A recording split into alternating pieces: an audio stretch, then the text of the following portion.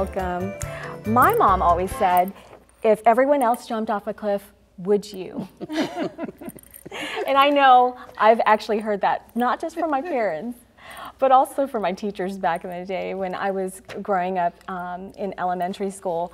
Um, I know back in the day that we would actually um, feel the pressure. Mm-hmm. And there's differences now with the pressures that kids feel in today's society. Yes, right. and they and kids kids are really going through a lot of peer pressure this, these days right. because they have a desire to fit in. They want to be just like everyone else, and and so a lot of times they find themselves making bad decisions in in order to fit in and be like the other kids. Right, and the, and the kids want to be liked. They want to you know fit into a group. They want to be able that they feel that they belong, that somebody has their back and stuff. So I mean, I think it is is a really um, problem and I think it, we as parents need to kind of give them some guidelines as to what we expect of them.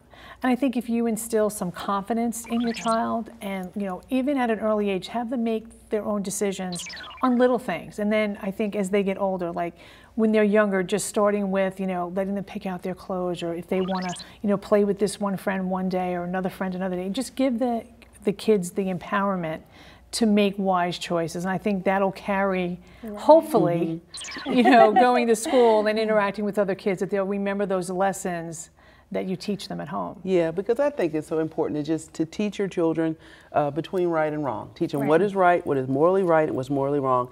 And I always wanted my children to hear my voice. Right. when they were getting ready to make a decision, I wanted them to hear mother saying what exactly. and what I had told them to say That's before right. they made that decision, so that they would have, if if their own morals were not guiding them, I wanted my voice to guide them. Exactly. exactly. Well, personally speaking, I have um, a child I have three girls, um, one in each group. So I have a seven-year-old in elementary, a 13-year-old in middle school, and um, also a 15-year-old in 10th grade. So I have a little bit of everything that I deal with. And I do believe, like you all have said, that it does start from home. Mm-hmm. And if you establish that strong um, sense of self and that confidence, that it'll carry through in, in helping them make the decisions, whatever they face in right. school. Mm-hmm. Um, what are ways that um, your children have maybe? Well, the one thing that they always come home and say is, well, mom, everyone is doing it. right. You have to tell them,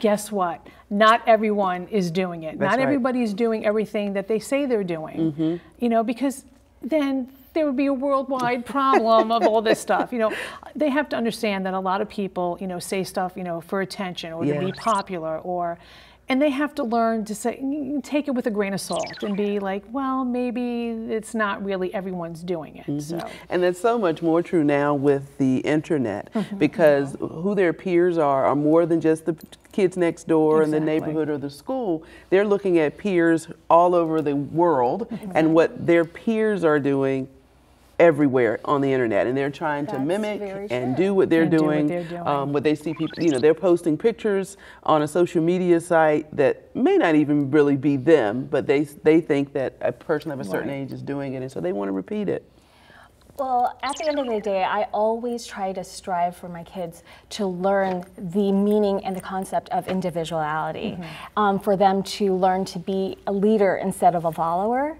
And so I um, try to um, hone in on that in my, in my home as well as in the activities they do after school.